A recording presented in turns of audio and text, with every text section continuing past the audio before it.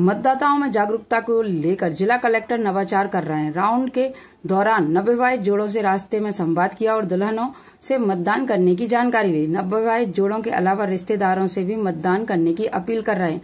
आम जन भी जिला कलेक्टर को मतदान करने का भरोसा दिला रहे हैं। जिला कलेक्टर के प्रयास मतदान प्रतिशत बढ़ाने में मील का पत्थर साबित हो सकते हैं और सब लोगों को वोट डालने का अधिकार समझाया कहा कि आप अपना मतदान अवश्य डालें। ऐसे ही एक गाँव में देखा गया कि मतदाता तीन किलोमीटर पैदल चलकर अपना वोट डालने आए। सर जी ले सर जी ले चलो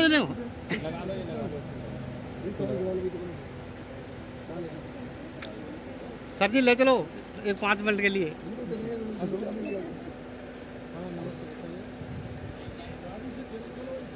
हाँ हाँ जी हाँ जी।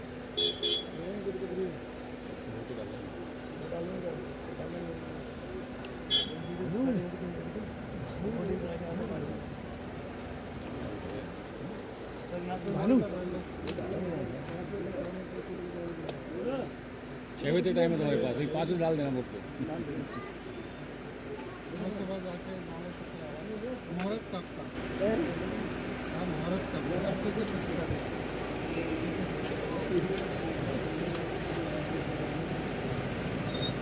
मेहंदी लगाए ये भी लग हेलो। हाँ जी मैडम, क्या क्या व्यवस्था क्या व्यवस्था खराब है? आप बताओ एक बार।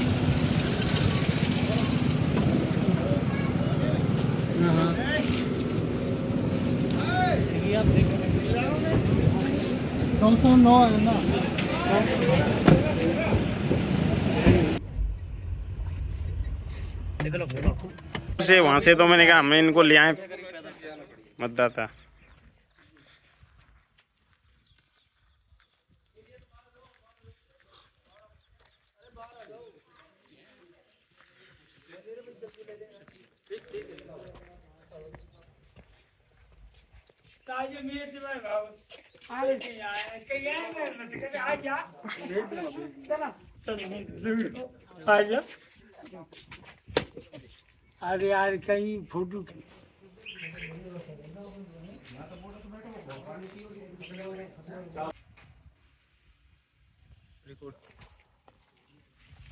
मंजे से मैंने वोट डाला है मुझे बहुत अच्छा लगा।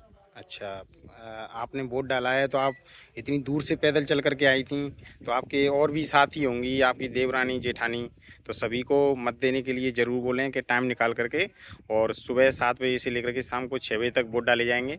तो आप सभी से बोलें कि मतदान करना बहुत ज़रूरी है मज़बूत लोकतंत्र के लिए और सभी वोट डालें। तो आप गाँव जा कर के सभी को बताएँगे? सबको बताएँ। सभी को बताएँगे। धन्यवाद। खोटा भाई अच्छा। वोट डालने जा रही हैं कि यार डाल दिया? जा रहे हैं। तो आप पैदल पैदल जा रहे हो इतनी दूर से? अच्छा अच्छा साधन नहीं है। साधन आएगा अच्छा तो जिला निर्वाचन अधिकारी महोदय की मतलब बहुत अच्छी स्वीप गतिविधियाँ रहीं कि मतलब प्रत्येक को मतदान ना ज़रूरी है मतदाता को। और आप पैदल पैदल देखो सड़क पे पैदल पैदल जा रही हैं आप। इतनी दूर कितनी दूर गाँव है यहाँ से? काफ़ी दूर गाँव है।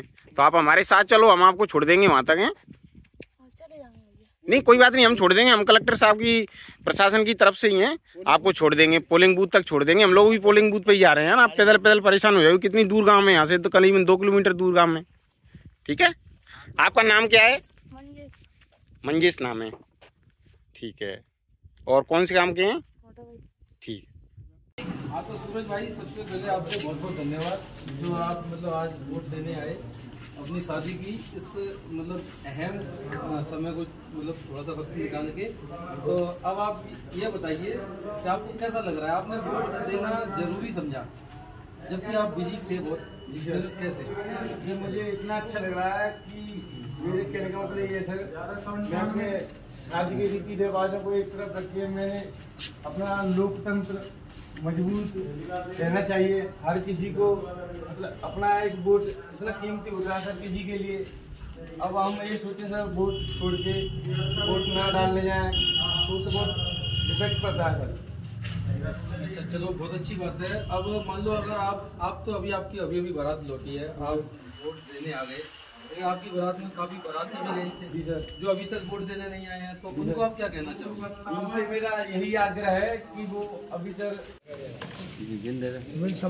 यार। हाँ बिन में दे दे। हाँ दे दे